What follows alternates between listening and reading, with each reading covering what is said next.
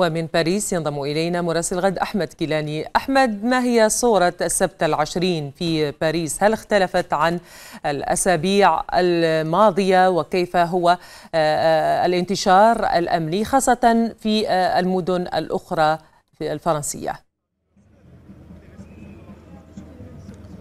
نعم بشكل عام يمكن القول للأسبوع الثاني على التوالي نجحت السلطات الفرنسية بإعادة فرض الأمن والهدوء خلال هذه التظاهرات.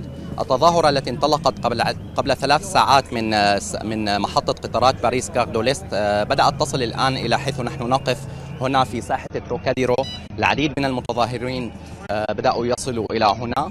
آه هذه التظاهرة انطلقت عند الساعة الواحدة ونصف توقيت باريس آه وسارت بالعديد من المناطق الفرنسية بشكل هادئ وسلمي. لم يكن هناك مواجهات كبيرة بين المتظاهرين وقوات الشرطة في هذه التظاهرة اليوم. وزارة الداخلية الفرنسية أصدرت بيانا قبل عشر دقائق ذكرت فيه بأن أعداد المتظاهرين وصلت إلى 5600 متظاهر حتى الساعة الثانية ظهرا في جميع أنحاء فرنسا منهم 1800 متظاهر في باريس فقط.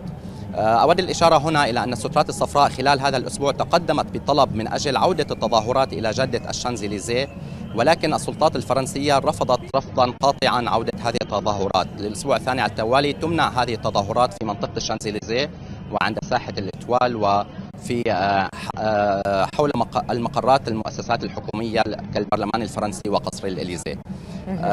أيضا عشية هذه التظاهرات تعرض الناشط البارز في السترات الصفراء إريك دروي إلى فرض غرامة مالية بقيمة 1500 يورو بتهمة أو بسبب تنظيمه لتظاهرات غير مرخصة. يوم أمس فرضت إحدى المحاكم الفرنسية غرامة بمقدار 1500 يورو.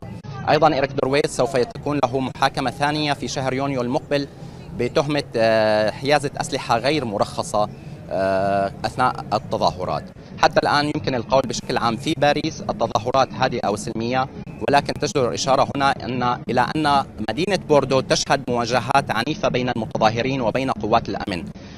عميد عميد مدينه بوردو كان قد حذر منذ يوم أمس من وجود عناصر متطرفة بين المتظاهرين ودعا سكان مدينة بوردو إلى الالتزام ببيوتهم وعدم الخروج إلى الشوارع في هذه التظاهرات. شكرا جزيلا لك أحمد كيلاني مراسل غد كنت معنا من باريس عبر سكايب.